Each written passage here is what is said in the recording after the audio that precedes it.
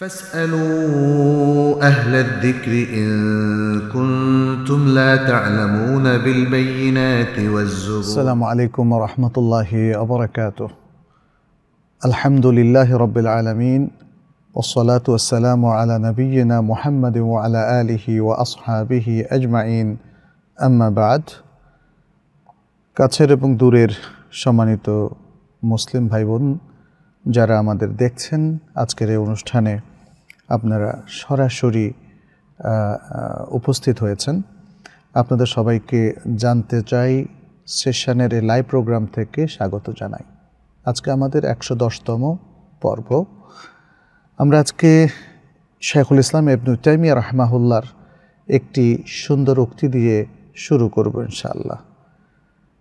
মজমুউল ফাতাওয়ার তেরোতম খণ্ডের দুশো পাঁচচল্লিশতম পৃষ্ঠায় তিনি বলেন لا ريب أن الله يفتح على قلوب أوليائه المتقين وعباده الصالحين بسبب طهارة قلوبهم ما لا يفتح به على غيرهم কোনো সন্দেহ নেই যে আল্লাহ তার মুত্তাকি বন্ধুদের এবং তার সৎকর্মশীল বান্দাদের অন্তর উন্মুক্ত করে দেন কারণ তাদের অন্তরগুলো পবিত্র, তাদের অন্তরের পবিত্রতার কারণে আল্লাহ সুবাহানা হুয়া তালা তাদের অন্তরগুলোকে খুলে দেন, উন্মুক্ত করে দেন। সেখানে সুন্দর কথাগুলো ঢোকে এবং সুন্দর কথাগুলোর মকবুলিয়াত তৈরি হয়, যেটা তিনি অন্যদের খুলে দেন না। তাহলে আল্লাহর যারা মোত্তাকি পান্দা নয় মোত্তাকি বন্ধু নয়, ওয়ালি নয় এবং সৎকর্মশীল মানুষ নয়, তাহলে তাদের অন্তর কিন্তু বন্ধ থাকে। সেখানে সত্য ঢোকে না। সত্য ঢোকে শুধু মোত্তাকি এবং সৎকর্মশীল বান্দাদের হৃদয়ে। এবং সেটি আমরা দেখেছি সেই রাসুল সাল্লাহ সাল্লামের যুগ থেকে আজ পর্যন্ত। আসুন আমরা তাকুয়ার চর্চা করি। আমরা সততার চর্চা করি। সৎ মানুষ সৎ বান্দা হওয়ার চেষ্টা করি, মোখলেস মেন হওয়ার চেষ্টা করি, তাহলে আল্লাহ আমাদের অন্তরগুলোকে খুলে দেবেন এবং এর ফলে আমরা সদা সর্বদা কোরআনকে গ্রহণ করতে পারব। আল্লাহর সুন্দর সুন্দর নাম এবং সেফাত এবং সেগুলোর অর্থকে খুব সহজেই আমরা কবুল করতে পারব। আল্লাহর নির্দেশগুলো মেনে চলা আমাদের জন্য সহজ হবে, কারণ অন্তরটাকে যে আল্লাহ তালা নরম করে দিয়েছেন, খুলে দিয়েছেন, উন্মুক্ত করে দিয়েছেন। আর আমরা অন্যায় পথে শিরিক, বেদাত এবং পাপের পথে যেন না চলি, কারণ সে পথে চললে আল্লাহ সিলগালা করে দেন, অন্তরটাকে লক করে দেন। ফলে আমরা আর সত্যকে কবুল করতে পারি না। এটাই আজকের যুগে অনেক মানুষের সত্যকে কবুল না করার কারণ। কারণ তাদের অন্তরটা লকড তারা আল্লাহ তালা কোরআনে এই জন্যই বলেছেন, আফালা ইয়াতাদাব্বারুন আল কোরআন আম আলা কুলুবিন আকফালুহা? তারা কোরআন নিয়ে কেন চিন্তা ভাবনা করে না? নাকি তাদের হৃদয় লকড হয়ে আছে, তালাবদ্ধ হয়ে আছে? যাই হোক, এতটুকু বলে আমরা আমাদের আজকের মূল সেশনে প্রবেশ করতে চাই। সেটি হলো প্রশ্নোত্তর পর্ব। আপনাদের অনেকগুলো প্রশ্ন আমাদের কাছে ইতিমধ্যে জমা হয়ে গেছে। আমরা প্রথম যে প্রশ্নটা নেব, সেটি পাঠিয়েছেন মোহাম্মদ আল আমিন হুসাইন তিনি দুটো প্রশ্ন করেছেন। প্রথম প্রশ্ন হলো, যৌথ বা গ্রামীণ পরিবারের পর্দার বিধান কেমন? কেননা গ্রামে হাঁস মুরগি গৃহপালিত পশু পাখি থাকে, সেগুলো পালন করতে হয়। সাধারণ নিম্নবিত্ত পরিবারের পর্দার বিধানটা তাহলে কেমন হবে? পর্দা ও আত্মীয়তার সম্পর্ক কীভাবে ভারসাম্য করা যায়? ভাই আলামিন যে প্রশ্নটা এখানে করেছেন তার মধ্যে বেশ কয়েকটা অংশ আছে। গ্রামীণ পরিবারের পর্দার বিধান শহুরে পর্দার বিধানের চাইতে আলাদা নয়, কারণ সকল মমিদের জন্যই পর্দার বিধানটি নাজিল হয়েছে। সুরা আহজাবের মধ্যেও আল্লাহ সুবান তালা পর্দা নিয়ে আলোচনা করেছেন এবং সুরাত নূরের মধ্যেও আল্লাহ তালা পর্দার বিধান নিয়ে আলোচনা করেছেন এবং সুরাত নূরে স্পষ্ট করেছেন যে পর্দাটা নারী পুরুষ উভয়কেই করতে হবে। এবং পর্দার মূল কথা হচ্ছে দৃষ্টি সংযত রাখা। কারণ এই দৃষ্টিটাই তো হয় অশ্লীল কিছু দৃশ্য দেখে অথবা সেখান থেকে দৃষ্টিকে সংযত করে রাখে। ফলে আল্লাহ তালা নারী পুরুষ উভয়কেই দৃষ্টি সংযত করতে বলেছেন। যদিও শরীর ঢাকার দিক থেকে নারী পুরুষ উভয়কেই তাদের সতর ঢাকতে হয়। আর নারীদের ক্ষেত্রে তারা যেহেতু সৌন্দর্যের প্রতীক হিসাবে সব জাতির কাছে বিবেচিত হয়, এজন্য তাদের সৌন্দর্যকে ঢেকে রাখতে বলা হয়েছে। ফলে তাদের আপাদমস্তক পর্দার বিধানটা নাজল হয়েছে। এটা শহুরে এবং গ্রামীণ, উভয় নারীর ক্ষেত্রেই। এখন গ্রামে যদি নারীরা হাঁস মুরগি কিংবা গৃহপালিত পশু পাখি পালন করে, তাহলে তাদের পর্দা করতে হবে না। এমন কোনো বিধান নেই। বরং পর্দার মধ্যে থেকেই আসলে এ সমস্ত গৃহস্থালী কাজ কিংবা ইভেন যদি নারীদের বাজারেও কোনো কেনাকাটার জন্য যেতে হয় কিংবা ক্রয় বিক্রয় করতে হয়, সবটাই তারা পর্দার মধ্যে থেকে করবে। এটাই হচ্ছে বিধান। তারা শহরে থাকুক অথবা গ্রামে থাকুক। আর আপনি বলেছেন সাধারণ পরিবারের পর্দার বিধান কেমন? সাধারণ পরিবারেও পর্দা করতে হবে। সাধারণ এবং অসাধারণ। ধনী এবং গরিব, বিত্তশালী এবং নিম্নবিত্তের সকল মানুষেরই, সকল নারীদেরই পর্দা করতে হবে এবং আমরা জানি নারীদের সাথে পুরুষদেরও পর্দার বিধান সমভাবে প্রযোজ্য। পর্দা ও আত্মীয়তার সম্পর্ক কীভাবে ভারসাম্যপূর্ণ করা যায়, আপনি এটাও প্রশ্ন করেছেন। তার মানে হচ্ছে গ্রামীণ পরিবেশে আমরা বুঝতে পারলাম যে সাধারণত আত্মীয় স্বজনের সাথে সম্পর্ক গভীর হওয়ার কারণে তাদের সাথে পর্দা করা হয় না। যেমন চাচির সাথে পর্দা করা কিংবা চাচাতো ভাই বোনদের সাথে, ফুফাতো মামাতো ভাই বোনদের সাথে যে পর্দার বিষয়টা কিংবা দেবর এবং ভাবির পর্দার বিষয়টা গ্রামে ব্যাপকভাবে ব্যাহত হয়, মানুষ সাধারণত এই জায়গায় পর্দার প্রয়োজনীয়তা আছে বলে মনে করে না। তারা মনে করে পর্দা হচ্ছে ঘর থেকে বের হলে বোরকা চাপানো নারীদের ক্ষেত্রে আর পুরুষদের ক্ষেত্রে তাদের স্বাভাবিক পোশাক আশাক পরলেই চলে। কিন্তু আসলে পর্দার মূল কথা হচ্ছে নারীদের সৌন্দর্য ঢেকে রাখা এবং তাদের সতত্ব বটেই আপাদমস্তক ঢেকে রাখতে হবে এবং এই এই বিষয়টা তাদের ইন্টারনাল পর্দার ক্ষেত্রে প্রযোজ্য, অর্থাৎ তাদের যে কাছের আত্মীয় আছে ফার্স্ট কাজিন হ্যাঁ যাদের কথা আমরা একটু আগে বললাম এবং যারা তাদের মাহারাম নয় এদের প্রত্যেকের সাথে তাকে পর্দা মেনটেন করতে হবে। আর যেমন দেবর ভাবিরও পর্দা মেনটেন করতে হবে। আর এর মধ্যে আত্মীয়ত্ব সম্পর্ক রক্ষা করতে হবে। পর্দা করলে আত্মীয়ত্ব সম্পর্ক নষ্ট হয়ে যাবে, এটা ঠিক নয়। আসলে পর্দাটা একটা কালচারাল বিষয় বটে মুসলিমদের জন্য। অনেকে যারা পর্দা প্রথা মানে না তারও পেছনে অনেকগুলো কারণ আছে, কারণ তারা সেভাবে গড়ে ওঠেনি, অথবা ওয়েস্টার্ন লাইফে তারা অভ্যস্ত হয়ে যাওয়ার কারণে এটা হয়েছে। ফলে পর্দা নসীন কোনো মহিলাকে যদি বেপর্দা কোনো ফ্যামিলিতে নিয়ে যাওয়া হয়, তখন তারা মাইন্ড করে বসে যে, না, আপনি কেন পর্দা করছেন? সমস্যাটা কি? ভয় পাচ্ছেন নাকি? ইত্যাদি নানা বিষয়। তো আসলে ইসলামের নির্দেশ হিসাবে পর্দাও করতে হবে আবার আত্মীয়তার সম্পর্ক রক্ষা করতে হবে। এভাবে নিজেদেরকে ভারসাম্যপূর্ণ জীবনে অভ্যস্ত করতে হবে। আত্মীয়তার সম্পর্ক রক্ষার নামে পর্দাহীনতা শরিয়াত অ্যালাউ করে না এবং অনুমোদন দেয় না। আপনার দ্বিতীয় প্রশ্ন হচ্ছে, আপনাদের লাইভ কখন কীভাবে হয়? আমরা সাধারণত এখন মঙ্গলবারই লাইভটা করে থাকি। সাধারণত সন্ধ্যা সাড়ে সাতটায় আমরা লাইভটা করি বাংলাদেশ টাইম। আর কখনো বিশেষ কারণে যদি পৌঁছতে দেরি হয়ে যায়, তখন আমরা সাড়ে নয়টায় করে থাকি। ফাতিহা জান্নাত। বলেছেন, আরাফার দিনে দোয়া কবলের বিষয়টা কি শুধু আরাফার মাঠে উপস্থিত হাজিদের জন্যই খাস, নাকি এটা সবার জন্য প্রযোজ্য? আমরা আগে আরাফার দিনের যে হাদিসগুলো আছে, ফজিলাত, দোয়ার যে ফজিলাত সেটা নিয়ে একটু আলোচনা করি, তারপর বোঝার চেষ্টা করি যে আসলে এটা কি খাসভাবে আরাফায় উপস্থিত হাজিদের ক্ষেত্রে বলা হয়েছে? নাকি এই দিনে যারা যেখান থেকে দোয়া করুক না কেন সকলের ক্ষেত্রে প্রযোজ্য?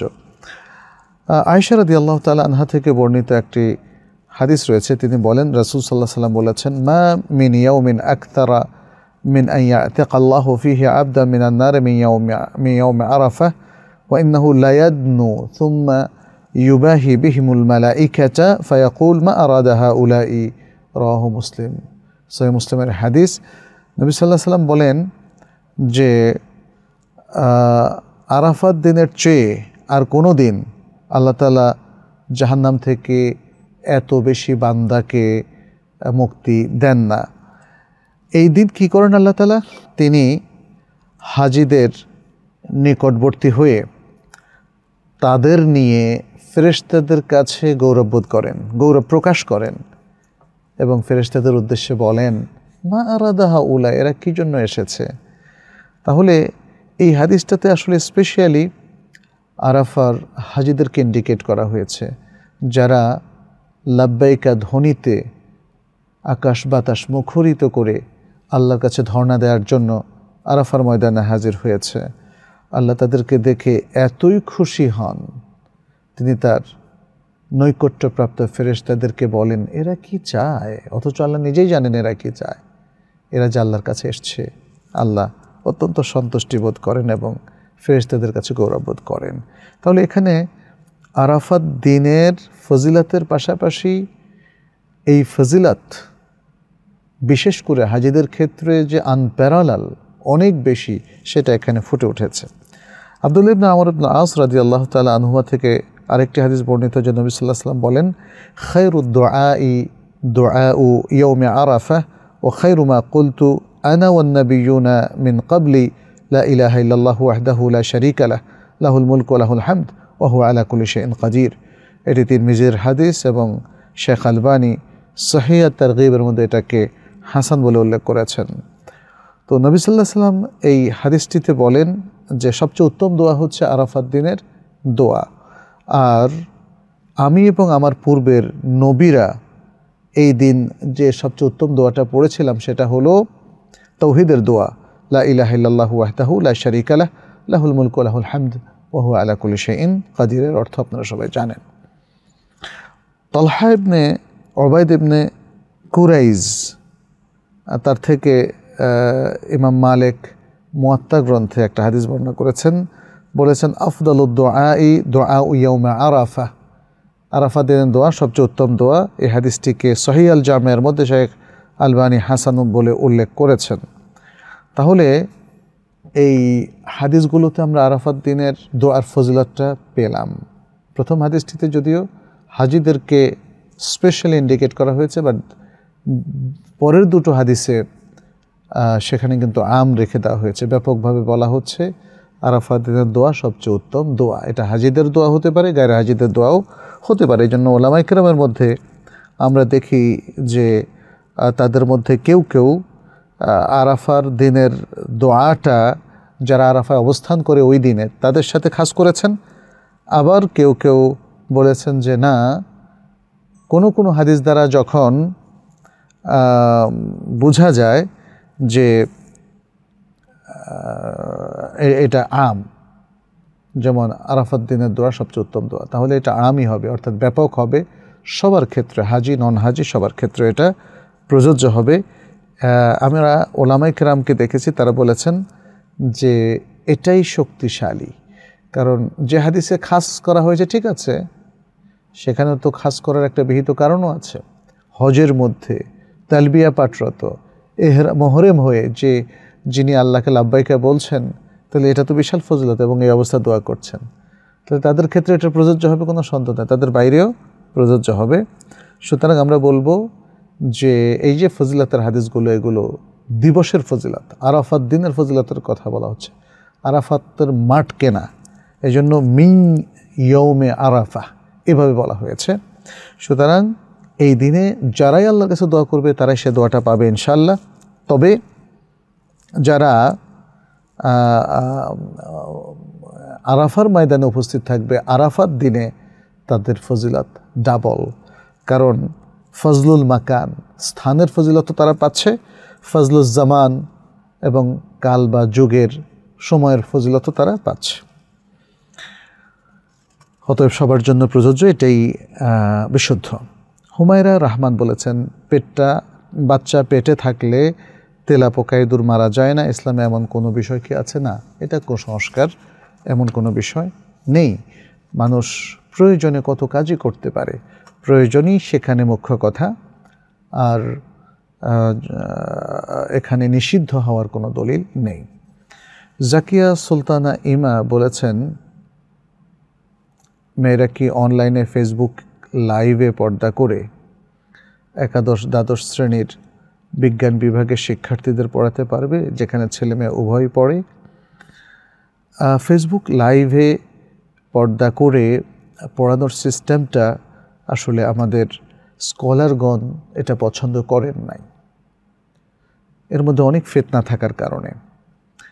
এমনকি মেয়েরা যদি নিকাব পরেও আসে, কারণ এটা একটা পাবলিক প্লেস পাবলিক প্লেসে মেয়েরা না এসে, মেয়েরা মেয়েদের পরিবেশে থাকবে এটা ইসলামের বিধান। সনি ইসলাম বলেছেন, কেউ যদি কাউকে খুব বাজেভাবে কালো জাদু করে এবং যদি জিন আসর করে, তাহলে এর চিকিৎসা পদ্ধতি কী? অনেকে দেখা যায় তাবিজ ও তান্ত্রিকের শরণাপন্ন হন। তাবিজ ব্যবহার করা তো আসলে শেরক, এক্ষেত্রে আমাদের কি করা উচিত?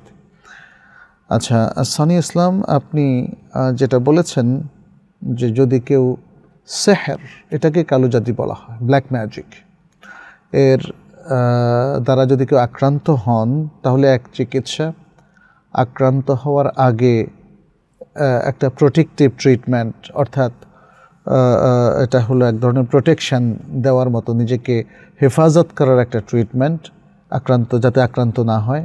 আবার আক্রান্ত হয়ে যাওয়ার পরে আরেকটা চিকিৎসা রয়েছে।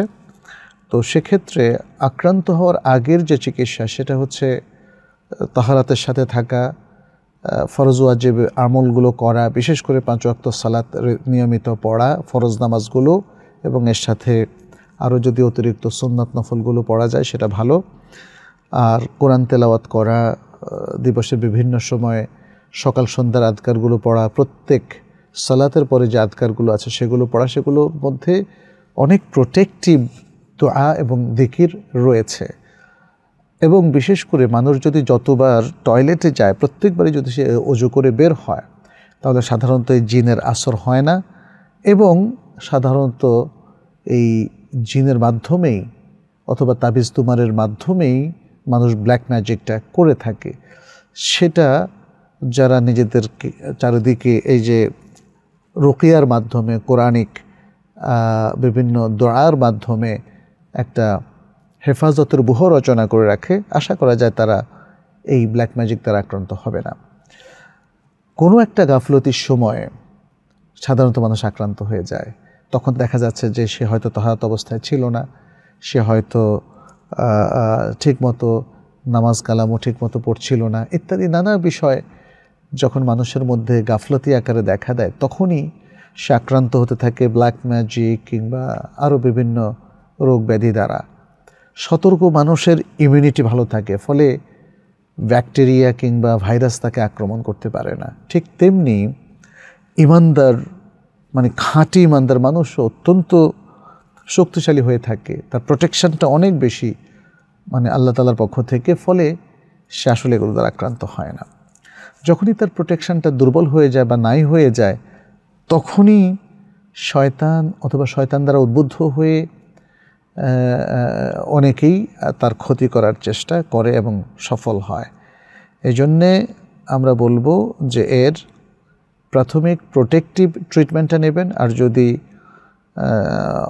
কেউ কালো জাদুর মধ্যে আক্রান্ত হয়ে যান, তখন শেখ বিন বাজ রাহিমাহুল্লার ছোট্ট একটা বই আছে ইসলাম হাউসে বাংলায় জাদু এবং জ্যোতির্বিদ্যা ইত্যাদি এগুলোর বিধান এবং জাদুতে আক্রান্ত হলে কী চিকিৎসা সেটা দেওয়া আছে।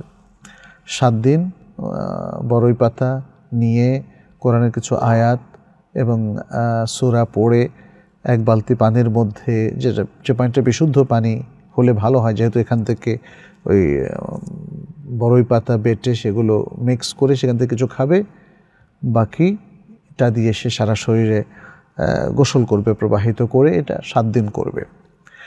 আল্লাহর উপর তওয়াক্কুল করবে। এছাড়াও সে অন্য অন্য রুকিয়া কিংবা হেজামার মতো তেব্বে নববীরও আশ্রয় নিতে কোনো অসুবিধা নেই।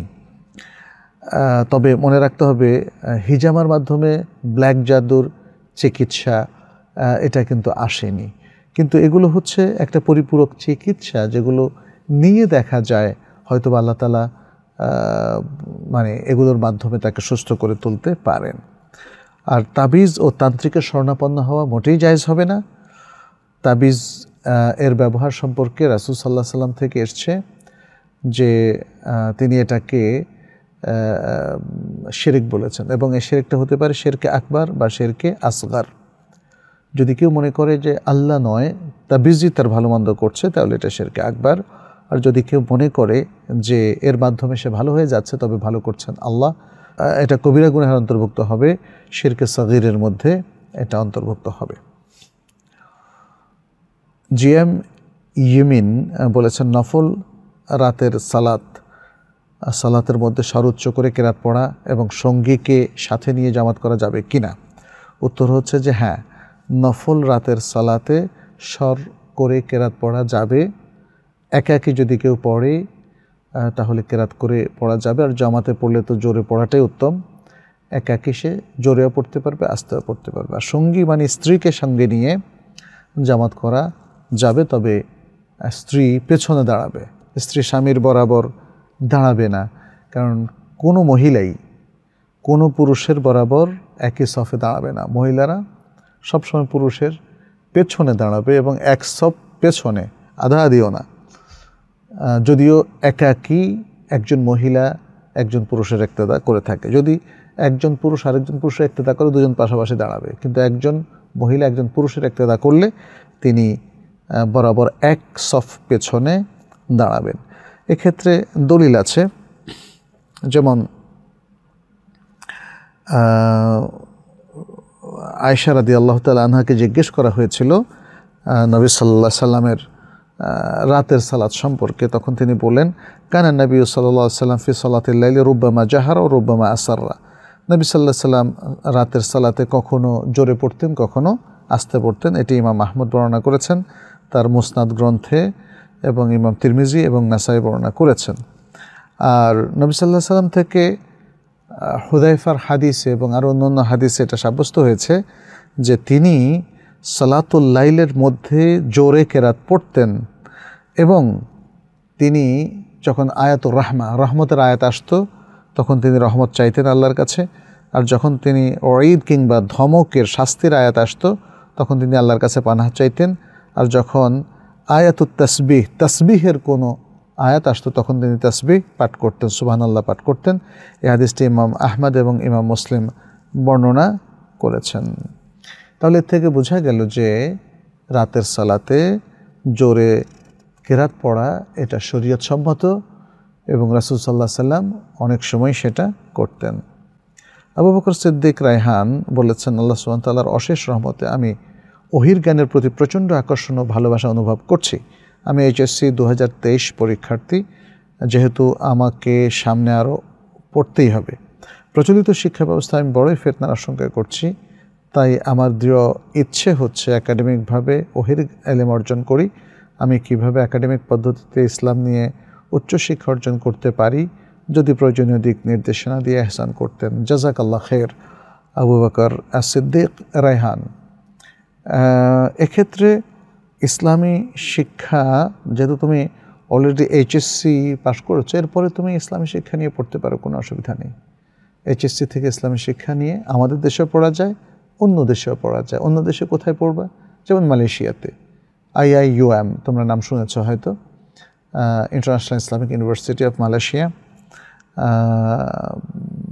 এছাড়াও মালয়েশিয়ার আরও অনেকগুলো পাবলিক ইউনিভার্সিটি আছে যেখানে ইসলাম নিয়ে পড়া যায়। যেমন university of Malaya Malaysian national university Utara university এগুলোর মধ্যে ফেকা উসুলে ফেকা আছে ইসলামিক স্টাডিজ আছে ইসলামের ইতিহাস আছে কোরআন আছে হাদিস আছে, বিভিন্ন ডিপার্টমেন্ট আছে সেখানে পড়া যায়। এছাড়াও আরও ভালো এলেম অর্জন করতে চাইলে মদিনা ইসলাম বিশ্ববিদ্যালয় আছে অমুল কোরা বিশ্ববিদ্যালয় সেখানে অনেক বেশি ইসলামিক ফ্যাকাল্টিও আছে, ডিপার্টমেন্টও আছে। পাশাপাশি তয়েফ ইউনিভার্সিটিতে এবারও আমি মক্কায় গিয়ে দেখলাম যে তয়েফের ছাত্রদের সাথে দেখা হলো, যারা মূলত বাংলাদেশি, সেখানে তারা এই বছরই প্রথম এসেছে। দু হাজার তেইশ সালে আমাকে বলল, অথবা বাইশ সালের শেষের দিকে। এছাড়া তয়বা ইউনিভার্সিটি আছে কিং সৌদ ইউনিভার্সিটি আছে, Imam Mahmud bin Saud Islamic university আছে, কিং ফাহাদ ইউনিভার্সিটি আছে ইত্যাদি, অনেক ইউনিভার্সিটি। এছাড়াও আল আজহার বিশ্ববিদ্যালয় মিশরে আইন শামস বিশ্ববিদ্যালয়, আল কায়রো বিশ্ববিদ্যালয়। এছাড়া আবুধাবিতে আছে, দুবাইতে আছে কুয়েত, কুয়েতে আছে, কুয়েত ইউনিভার্সিটি, কাতার ইউনিভার্সিটি, এরকম অনেকগুলো ইউনিভার্সিটি আছে।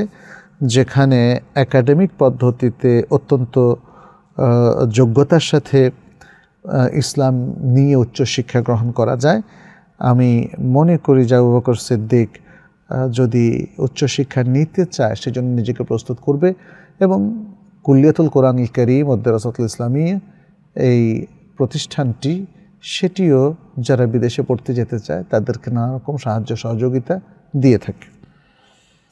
পারভেজ তপি বলেছেন, হজের সময় মিনা এবং আরাফাতে তাবুতে গ্রুপের সবাই যদি জামাতে সালাত কসর না করে সম্পূর্ণ আদায় করে, তাহলে কি তাদের সাথে সম্পূর্ণ আদায় করব, নাকি আলাদা করে একা সালাত আদায় করব? একদম আলাদা হওয়ার প্রয়োজন নেই। সম্পূর্ণ সালাদ যদি কেউ আদায় করে, সেটা বাতিল হবে, এটা কেউ বলেনি। তবে মিনা এবং আরাফাতে আমাদের যে সমস্ত হাজিরা মুসাফের, বাংলাদেশ থেকে যারা যারা সবাই মুসাফের, তারা সেখানে কসরের সাথে পড়াটাই তাদের জন্য সঙ্গত। বিশেষ করে আরাফাতে রাসুল সাল্লাহ সাল্লাম নিজেই জহর দুরাকাত আসর দুরাকাত পড়েছেন এক আজান দুই একামত। এবং মুজদালেফায় এসে, মাগরিব এবং এশা এটাও একসাথে জমা করে প্রথমে মাগরিব তিন রাকাত, কারণ মাগরিবের আর কোনো কসর নাই। আর এশা দুই রাকাত এশার কসর আছে, সেটা আদায় করবেন। ব্যাস, তাহলে তাদের সেটা আদায় হয়ে যাবে। আর তারা যদি কোনো কারণে এমন ইমামের পেছনে একতেদা করে যে সেটা পূর্ণ করেছেন, তাহলে কোনো সমস্যা নেই। তবে আমাদেরকে মনে রাখতে হবে, আমরা যেন সর্বক্ষেত্রে রাসুল সাল্লাহ সাল্লামের যে সুন্না তিনি রেখে গেছেন, সেটাকে অনুসরণ করি। মাহমুদ ইফতাখার হোসেন বলেছেন, আমার তিন বছরের জন্য ব্যাংকে ডিপিএস করা আছে, সেখানে আমি মাসে মাসে টাকা দিই। এই টাকার জাকাত কীভাবে দেবো? এক বছরের হিসাব করে জাকাত দেবো নাকি তিন বছর পড়তে হলে লাভসহ সম্পূর্ণ টাকার হিসাব করে জাকাত দেবো? লক্ষ ডিপিএসের এক বছরের টাকার হিসাব করলেও নেশাব পরিমাণ টাকা হয়ে যায়। প্রতি বছর বছর দিতে হবে। ডিপিএসের টাকাটা, এটা আমাদের আওতাভুক্ত। যখন ইচ্ছে এটাকে ভাঙাতে পারি, যদিও ম্যাচিওর হওয়ার আগে ভাঙালে হয়তো প্রফিটটা তারা সেই রেটে দেয় না নানা কারণে। কিন্তু ডিপিএসটা আমাদের ওনারশিপে থাকা জাকাতযোগ্য একটা অ্যামাউন্ট অতএব সেটার লাভসহ, প্রতি বছর লাভ সহ যদি যেমন এক লাখ টাকা যদি আপনি রাখেন, লাভসহ আসলো এক লাখ সাত হাজার টাকা। তাহলে এক লাখ সাত হাজার টাকার জাকাত দিত পরের বছর যদি আপনি এ টাকা না ধরেন, না ভাঙান, তাহলে এক লাখ সাত হাজার টাকার উপর আরেকটা প্রফিট দিবে তারা। তারা সে, তখন হয়তো পরের বছর আসবে সেটা হয়ে যাবে এক লাখ হয়তো নয় হাজার বা দশ হাজার। তো সেক্ষেত্রে প্রতি বছরই ওই বছরের যে প্রফিট এবং মূল দুটোকে একসাথ করে জাকাত দিতে হবে এবং অন্য জাকাতযোগ্য সম্পত্তিরও জাকাত দিতে হবে। খ, আপনি আরেকটি প্রশ্ন করেছেন আর যদি তিন বছর পূর্তি হলে লাভ সহ সম্পূর্ণ টাকার হিসাব করে জাকাত দেই, তাহলে কি এক বছরের জাকাত হিসাব করব না গত তিন বছরের? আপনি যদি একসাথে প্রথম বছর, দ্বিতীয় বছর জাকাত না দিয়ে তিন বছরের হিসাব করলেন, তাহলে তিনও বছরের আলাদা আলাদা জাকাত হিসাব করবেন। তবে নিয়ম হচ্ছে, যখন যে বছর জাকাত ফরজ হবে, সে বছরই জাকাত দিয়ে দেওয়া, এটাকে জমিয়ে না রাখা। আপনি আরও প্রশ্ন করেছেন, আমি কোনো কারণে মাগরীবের সালাদ পড়তে ভুলে গেছি। এশার সালাতের একামতের সময় মনে পড়ল যে আমি মাগরীবের সালাদ পড়িনি সেক্ষেত্রে আমার করণীয় কি? আচ্ছা সেক্ষেত্রে মাগরীবটা আগে পড়ে নেবেন, তারপর এশা, এটাই হচ্ছে বিধান। এস এম কামরুল হাসান বলেছেন, আবাদি জমি বন্ধক নেওয়ার ব্যাপারে বিস্তারিত জানতে চাচ্ছি। এটা কি সম্পূর্ণ হারাম হয়ে যায় সুদের জন্য, নাকি অন্য কোনো পন্থায় বন্ধক নিলে জায়জ হবে? আমাদের এলাকার জন্য বন্ধক দেওয়া নেওয়া খুব চলে, তবে ডিসিমাল বা বিঘা প্রতি কোনো রেট নির্ধারণ নাই। যেমন জমির মালিক এক লাখ টাকা নিল, এর পরিবর্তে টাকাদাতা সেই লোকের জমি চাষাবাদ করবে যতদিন না টাকা ফেরত দিচ্ছে। কিন্তু তারা জানে যে এভাবে করলে ব্যাপারটা শুধু হয়ে যায় এই জন্য লেনদেন এর সময় তারা উভয় পক্ষ চুক্তি করে নেয় যে জমির মালিক টাকা ফেরত দেওয়ার সময় কিছু টাকা কম ফেরত দেবে। হয়তো এক লাখে দুই তিন হাজার বা তারও কয়েক হাজারও হতে পারে। এটা দুজনে মিলে ঠিক করে। এই সিস্টেমটা জায়জ হবে কি না আর এই সময়ের মধ্যে জমি তো মাঝে তো জমির সকল ফসল টাকা দাদা ভোগ করেছে। আসলে এটাকে কট সিস্টেম বলা হয়। যেভাবে আপনারা দিচ্ছেন যে এক লাখ টাকা নিয়ে পরিবর্তে জমির চাষাবাদ করতে থাকবে করতে থাকবে, যতদিন না এক লাখ টাকা শোধ করে, এক লাখ টাকা শোধ করলে তখন সে চাষাবাদটা বন্ধ করে জমিটা হস্তান্তর করবে। আর নিজের এক লাখ টাকা নিয়ে আসবে, এটা সুদ, এটা সম্পূর্ণ সুদ। কারণ কুল্লু কারদিন আফরান দেন, এটা ইবনা আব্বাস রাদি আল্লাহ তালাহ থেকে একটা আথার যে যখনই কেউ কোনো করজ দেয় এবং সে করজের বিনিময়ে শর্ত করে কোনো বেনিফিট নেয়, তখন তার পুরোটাই সুদ হবে। সেটা ক্যাশ নেক, কলম নেক, খাতা নেক, বই নেক, বাড়ি নেক, যাই নেক না কেন। সকল বেনিফিট তখন এই শর্ত সাপেক্ষে সুদ বলে গণ্য হবে, অতএব এটা করা যাবে না। এটা ইজারা করবে। বন্ধক পদ্ধতি কেন যাবে? সেই ইজারা করবে ইজারা নিবে। জ্যোথিকা আক্তার জ্যোথি বলেছেন, যদি কোনো স্ত্রী তার স্বামীর অনুমতি ব্যতীত বাচ্চা সহ বাপের বাড়িতে দীর্ঘদিন ধরে থাকে, তাহলে ওই বাচ্চার ভরণ পোষণের স্ত্রীকে দিতে হবে না, এটা স্বামীর। এটা স্বামীর সন্তান, স্বামীকে দিতে হবে। গোলাম রাব্বি বলেছেন, অপুর হয়ে শোয়াকে গুনাহের কাজ? এটি কি হারাম? আচ্ছা। নবী সাল্লাহ সাল্লাম আসলে উপর হয়ে শোতে নিষেধ করেছেন, যেমন সোন আবি দাউদের মধ্যে আছে যে তখফা আল গিফারি তিনি বলেন যে আমার বাবা যখন আমি মসজিদে আমার উপর হয়ে শুয়েছিলাম তখন এক ব্যক্তি আমাকে তার পা দিয়ে নাড়া দিল। বলল, এই ধরনের শোয়াটা আল্লাহ পছন্দ করেন, আল্লাহ পছন্দ করেন। তখন আমি তাকালাম, তখন দেখলাম যে রাসুল সাল্লাহ সাল্লাম সেই লোকটা হলো রাসুল সাল্লাহ সাল্লাম তাই না? এটা আবু দাউদ সহি সনদ বর্ণনা করেছেন, তাহলে উপর হয়ে শোবেন না। যেহেতু শুধু নবী সাল্লাহ সাল্লাম নিষেধ করেছেন, অতএব সেটা গর্হিত কাজ বলেই গণ্য হবে। আচ্ছা আমার মনে হয় আমরা এবার কিছু লাইভ প্রশ্ন নিতে পারি। ইতিমধ্যে দেখছি যে আপনারা বেশ কিছু লাইভ কমেন্টে আপনারা প্রশ্ন করেছেন। মোশারফ হোসেন সর্দার বলেছেন, নামাজের সামনে থেকে যাওয়ার জন্য সোত্রা যেটা মসজিদে ব্যবহার করা সেটাকে পদ্ধতি? সোত্রার জন্য সেটা শর্ত নয়। একটা লাঠি দাঁড় করানো, তবে লাঠি দাঁড় করানো যেতে পারে। উঁচু পিলারও সোত্রা হতে পারে।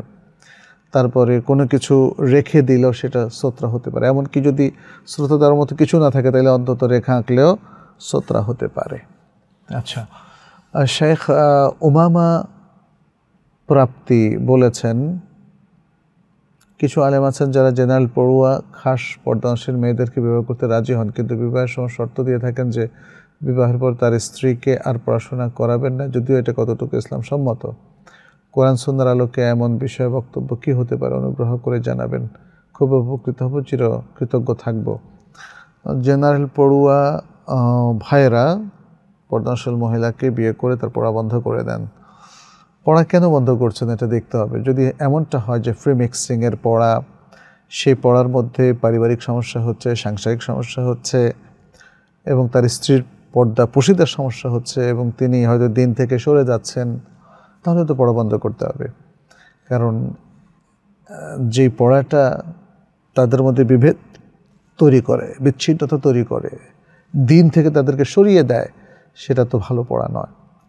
তবে যদি তিনি পর্দা পুশিদা রক্ষা করে পড়তে পারেন, পড়া চালিয়ে যেতে পারেন, শরীয়তকে লঙ্ঘন না করে পড়াশোনা চালিয়ে যেতে পারেন, তাহলে এটা এটা খুবই ভালো একটি কাজ এবং স্বামীকে আমরা বলব যে আপনি আপনার স্ত্রীকে অবস্থায় আরেকটু পড়তে দিন। হতে পারে সে এই পড়া দিয়ে দিনের বড় ধরনের খেদমত করতে পারবে, মানুষের মানবতার খেদমত করতে পারবে। অতএব পড়াটা শেষ করার পথে অন্তরায় হবেন না। স্ত্রীকে পড়ানোর ব্যাপারে অন্তরায় হবেন না, তবে যাতে সরিয়া লঙ্ঘনও না হয়, ফ্রিমিক্সিং না হয়, সেটাও খেয়াল রাখতে হবে। আচ্ছা আসিফ শেখ বলেছেন, শেখ, আমি ছয় মাস যাবত বিবাহ করেছি। আমার স্ত্রী আমার মায়ের নামে মাঝে মাঝে কিছু অভিযোগ করতো, আমার মায়ের উপর রাগ করে। আমার সাথেও ভালো আচরণ করতো না। তার অভিযোগ, আমার মাকে আমি কেন শাসন করি না? এবং এই জন্য সে রাগ করে, তার বাপের বাড়ি চলে গিয়ে তাদের কাছে অনেকগুলো দোষ বর্ণনা করেছে। আমাকেও, আমার মাকে নিয়ে। এখন কোনো যোগাযোগ করে না। তার ফোন রেখে গেছে, এখন কি করতে পারি? আলিফ শেখ আলিফ শেখ। আপনি যেভাবে আসলে সংসার চালাচ্ছেন, এটা ঠিক না। আপনি আপনার স্ত্রীকে এমনভাবে চালানো উচিত যাতে সে আপনার প্রতি আস্থাশীল হয়। এখানে আস্থার ব্যাপারটা খুব জরুরি। তাকে আদর, সোহাগ, ভালোবাসা সবই আপনাকে দিতে হবে। আবার সেই জন্য দিনের পথে চলে, মুরব্বীদেরকে শ্রদ্ধা করে, সেই লেসনটাও তাকে দিতে হবে। তাহলেই দেখবেন যে আপনার স্ত্রী আপনার নিজের মা বাবার প্রতিও শ্রদ্ধাশীল থাকবে, মায়ের নামে মিথ্যা কথা বলবে না, কারণ এত শরীরতে চাইজ নাই, আবার আপনার প্রতিও সে সহানুভূতিশীল থাকবে।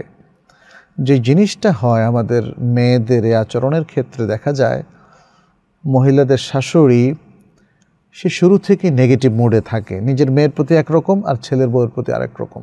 এটা একটা সমস্যা। ফলে এই যে নেগেটিভিটি তিনি প্রদর্শন করে বেড়াচ্ছেন, এটা তিনি নিজেও বোঝেন না। তার কথাবার্তা সব কিছুর মধ্যে একটা রিয়াক্টিভ অ্যাপ্রোচ পাওয়া যায়।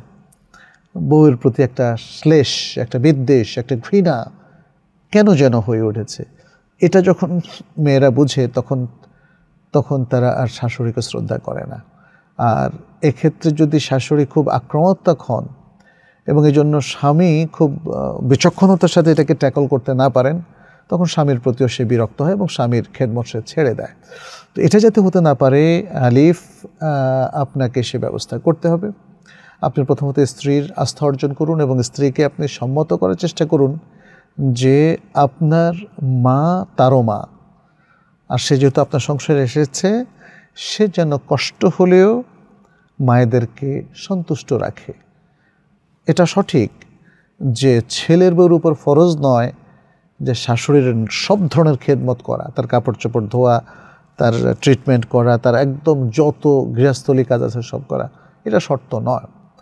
তবে এটাও ঠিক, শর্ত নয় বলে যদি আপনি বলেন যে, দুত্তরি, শাশুড়ি, আম্মা, আপনার তো খেদমত করা আমার দরকার নাই। এ কথা বললে তো মানুষ এটাই তো একটা নেগেটিভ অ্যাপ্রোচ একটা রিয়াক্টিভ অ্যাপ্রোচ সম্পর্ক ভালো থাকবে না। তার চাইতে ভালো হচ্ছে আমরা সুখী, সুন্দর সংসার এবং জীবন যদি করতে চাই, তাহলে আমার সাধ্য অনুযায়ী আমি শাশুড়ির জন্য কাজ করব, শ্বশুরের জন্য কাজ করব, আবার নিজের স্বামী স্ত্রীর জন্য আমরা যা যা করণীয় একটা সুখী দাম্পত্য জীবন তৈরি করার জন্য, বিনির্মাণ করার জন্য সেটাও আমরা করব। এখানে হিসাব নিকাশ করে কি করা উচিত আর কি করা উচিত না, সেটা আর্গুমেন্ট আকারে যদি পেশ করলে তাহলে সম্পর্ক খারাপ হয়ে যাবে। বরং আমরা একে অপরের জন্য যান বাজি রেখে যদি ভালো কিছু করি, কারণ আমাদেরই তো প্রিয়জন। স্বামীর প্রিয়জন, স্ত্রী, স্ত্রীর প্রিয়জন, স্বামী। আবার স্বামীর মা বাবা, স্ত্রীর খুবই কাছের মানুষ, যেহেতু স্বামীর মা বাবা। আবার স্ত্রীর মা বাবাও স্বামীর খুব কাছের, তিনি এটাকে বিবেচনা করা উচিত, কারণ স্ত্রীর আপন মা এবং বাবা।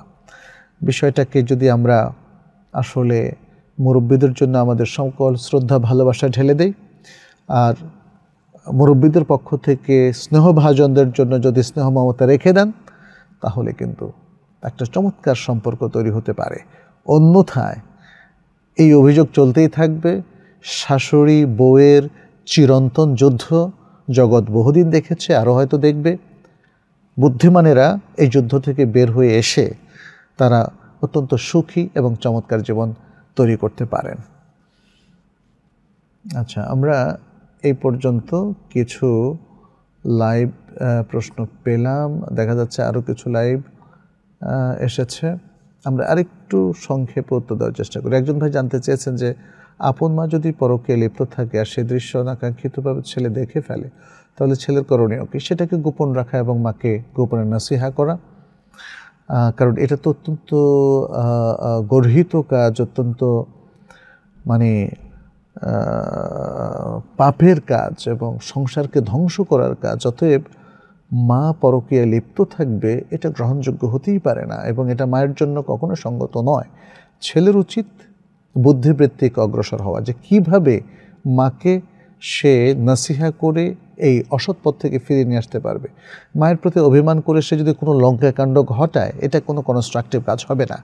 বরং মাকে যদি সে এই জাহান্নামের পথ থেকে রক্ষা করতে পারে যেহেতু পরকীয় অত্যন্ত খারাপ একটি কাজ এটাতে আমানা আহ, আমানাতদারি থাকে না এবং বিশ্বস্ততা থাকে না সব কিছু এবং অনাকাঙ্ক্ষিত দৃশ্যের কথা বলা হচ্ছে অর্থাৎ সেটা একটা বড় ধরনের পাপের কাজ যত এ থেকে ফিরিয়ে আনতেই হবে। আচ্ছা আর তার বাবা একটু দিন সালাত আদায় করলে সহিদিন মানতে নারাজ। মা সবসময় দিনের বিরোধিতা করেন। কেমন আচরণ হওয়া উচিত তাদের প্রতি নাসিহা করুন? অর্থাৎ সন্তান হিসাবে মায়েরও এই দোষ, আবার বাবার দোষ হচ্ছে বাবা সহিভাবে দিন পালন করে না। এক্ষেত্রে নাসিহার কোনো বিকল্প নেই। আর দিনও আর নসিহা যেহেতু রাসুল সাল্লাহ আসলাম বলছেন, দিন হচ্ছে নসিহাত করা, একে অন্যের কল্যাণ কামনা করা এবং এই কল্যাণ কামনার সাথে তাদেরকে কিছু অ্যাডভাইসও করা। সে অ্যাডভাইস করাটা চালিয়ে যেতে হবে যতদিন না তারা শুদ্ধ হন। এখানে বিরক্ত হয়ে, নিরাশ হয়ে ছেড়ে দেওয়া যাবে না। আচ্ছা আরেকটি প্রশ্ন এসেছে, এখানে নাম আসেনি। বর্তমানে আমার অনেক বন্ধু দক্ষিণ কোরিয়াতে গিয়েছে, আবার অনেকে যাওয়ার জন্য এখনও প্রস্তুতি গ্রহণ করেছে। দক্ষিণ কোরিয়া একজন মুসলিম হিসাবে যাওয়া কি ঠিক হবে? কেন যেতে চাচ্ছেন? এটার উপর নির্ভর করে। যদি আপনি দক্ষিণ কোরিয়া গিয়ে দিন ধর্ম হারিয়ে সেখানে মার্জ হয়ে যান, অনেক পাপ কাজ করেন, তাহলে আপনার জন্য যাওয়াটা নিষিদ্ধ।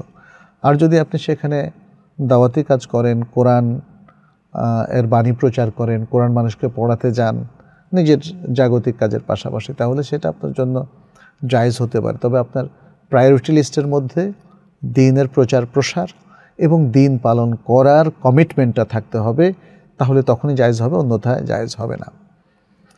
আরেকটি প্রশ্ন এসেছে, এখানেও প্রশ্নের নাম আমরা পাচ্ছি না। আলহামদুলিল্লাহ, আমি একজন অবিবাহিতা ধার্মিকা নারী। আচ্ছা ধার্মিক পাত্রের অভাবে বিয়েও করতে পারছি না। আমি একটা ফার্মে কাজ করতে বাধ্য হচ্ছি। বলতে পারেন, পরিবারই বাধ্য করছে। যেহেতু বিয়ে হচ্ছে না তাই পরিবার যা বলে সেটাই শুনতে হচ্ছে। এখন আমার করণীয়কে দয়া করে পরামর্শ দিলে উপকৃত হবেন। বিয়ে হচ্ছে না কেন? তাহলে তার মানে হচ্ছে কোথাও কোনো গাফলতি আছে। হয়তো আপনার নিজের গাফলতি, পরিবারের গাফলতি মা বাবার গাফলতি ইত্যাদি হতে পারে। একটা ফার্মে কাজ করছেন, সে ফার্মে দিনই পরিবেশ আছে কি কিনা পর্দাপশীদের সাথে কাজ করতে পারছেন কিনা, এগুলো বিবেচনা করেই কাজ করবেন। যদি লঙ্ঘন হয় তাহলে আপনি সে কাজ থেকে সরে এসে যেখানে শরিয়া পুরোপুরি মেনে চলা যায়, সেখানে আপনি চাকরি করতে পারেন। আর বিয়ে হচ্ছে না। বিয়ে হচ্ছে না এই বিষয়টা আসলে বিয়ে কমে যাওয়ার পেছনে অনেকগুলো কারণ আছে। আপনার পরিবার যদি এই ব্যাপারে একটা রোল প্লে করে যে আপনার বিয়ে হচ্ছে না, হোক তারা সেটা নিয়ে গরজও করছে না, তাহলে আপনি যেহেতু অনেক বয়স্ক হয়ে গেছেন, তাহলে বিষয়টা নিয়ে মায়ের সাথে খোলামেলা আলাপ করেন।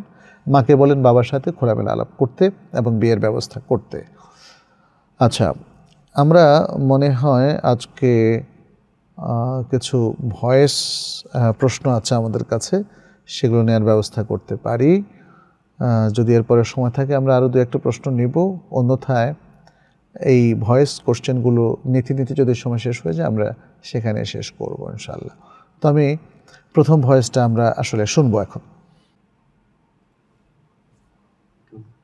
আসসালামু আলাইকুম। আমার এলাকার প্রায় সকল মসজিদের ইমামরা আকিদাগত লিপ্ত এখন আমার কি করা উচিত? আমাদের এলাকার মসজিদগুলিতে নামাজ না পড়লে আমার অন্য কোথাও নামাজ পড়ার ব্যবস্থা নেই। এমনকি আমি তাদের নামাজ পড়া বাদ নাকি নামাজ পড়া চালিয়ে যাব? আচ্ছা এখন যে প্রশ্নটা এসেছে বলেছেন তার এলাকায় মসজিদে ইমাম সাহেবরা শিরিক করে। ইমাম সাহেব তো শিরিক করার কথা না। কীভাবে প্রমাণ পেলেন যে তিনি শিরিক করছে? হ্যাঁ এই বিষয়টা আপনাদের লোকাল মহাক্কিক আলেম যারা যারা নির্ভরযোগ্য আলেম, তাদেরকে দিয়ে যাচাই করুন। নিজে যাচাই করতে যাবেন না। নিজের জ্ঞান কতটুকু আছে? আন্দাজে সন্দেহ করে যদি আপনি বলেন যে না ইমামের মধ্যে মনে হয় সেরে কাছে এটা ঠিক হবে না। ইমামদের যাতে কোনো ঘাটতি না হয় সেটাও খেয়াল রাখতে হবে। আপনি বিজ্ঞ স্কলার এবং আলেমের আশ্রয় নিন এবং তাদেরকে বলুন যে আপনার এলাকায় কার পেছনে আপনি নামাজ পড়বেন। যদি দেখা যায় যে না, আসলে তারা, আপনি যেটা ধারণা করছেন সেদিকে লিপ্ত নয়, কিন্তু তারা হয়তো বিভিন্ন মাঝহাব ফলো করছে, কেউ গোড়ামিও করছে, এগুলোর মধ্যে তার ত্রুটি থাকতে পারে। যদি বড় ধরনের শিরিককে তিনি লিপ্ত না হন, তাহলে তার পেছনে নামাজ বৈধ হবে। দ্বিতীয় ভয়েস আসসালামু আলাইকুম রহমতুল্লাহি কেউ যদি সালাম দেয়, এর উত্তরে ওয়ালাইকুম আসসালাম রহমতুল্লাহি ওবারাকাতু। এটা বলার পর কি আবার ফিরতি সালাম দিতে পারবে? আচ্ছা না, আবার ফিরতি সালাম দেওয়ার কোনো প্রয়োজন নেই। আসসালামু আলাইকুম রহমতুল্লাহ কেউ যদি বলেন তার উত্তরে, ওয়ালাইকুম আসসালাম রহমতুল্লাহ অথবা ওয়ালাইকুম সালাম রহমতুল্লাহ অবরাকাতুহু বলবেন, অতিরিক্ত বলাটা ভালো। কিন্তু অনেক সময় তিনি হয়তো সবটাই বলে ফেললেন তাহলে আপনি তার সমান সালাম দেবেন, কারণ এটা কোরআনের নির্দেশ। আর সালামের ক্ষেত্রে আসলে মানে ইসলামের যে আদবটা সেটা আমাদেরকে রক্ষা করতে হবে। এর বেশি অতিরিক্ত আর কোনো কিছুর প্রয়োজন নেই। যে তৃতীয় ভয়েস। সালাম আলাইকুম শেখ। ঢাকা সিটির ভিতরে সই আকিদার কোনো মাদ্রাসা আছে কি? আমার ভাইয়ের ছেলেকে ভর্তি করতে চাই একটু জানাবেন। যে অবশ্যই। প্রচুর মাদ্রাসা আছে। আপনি সেগুলো ভিজিট করুন। ঢাকাতে উত্তরাতে বেশ কয়েকটা নতুন মাদ্রাসা হয়েছে ইতিমধ্যে। এছাড়া বংশাল যাত্রাবাড়ি সহ বিভিন্ন জায়গায় মসজি- আহ, আহ, মাদ্রাসা আছে। আমরা এখানে নামগুলো ওইভাবে উল্লেখ করছি না। আপনি ইনবক্সে আমাদের কাছে যদি নামগুলো চান তাহলে আমরা ঢাকা সিটিতে যে কয়েকটা ভালো ভালো মাদ্রাসা আছে যেখানে বিশুদ্ধভাবে কোরআন, সন্না শেখানো হয় এবং আকিদা শেখানো হয়, সেটা আমরা বলে দেবো ইনশাল্লাহ তো আমার মনে হয় আজকে আমাদের টাইমটা প্রায় শেষের দিকে। আমরা এখানে সাড়ে দশটার মধ্যেই শেষ করার জন্য আমরা চেষ্টা করেছি এবং সে অনুপাতে আমরা এখন অনুষ্ঠানের শেষ প্রান্তে অবস্থান করছি। আপনাদের প্রতি আমাদের, আহ্বান থাকল, আপনারা জীবন ঘনিষ্ঠ প্রশ্নই বেশি করার চেষ্টা করবেন। কারণ আমরা দেখতে পাচ্ছি যে অনেকের পারিবারিক নানা সমস্যা, অনেক মানসিক সমস্যা আছে, আবার অনেক জায়গায় মানবিক সমস্যাও আছে, পড়াশোনার সমস্যা আছে ইত্যাদি, নানা ধরনের সমস্যা।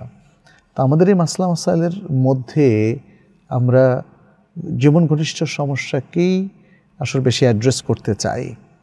মাসআলা মাসাইল তো যে কোনো বই থেকে পড়ে জানা যায়।